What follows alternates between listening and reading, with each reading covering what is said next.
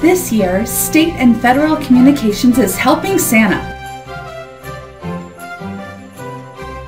We're stocking the sleigh for children at Akron Children's Hospital. We're gathering as many gifts as we can to put under our tree by December 16th.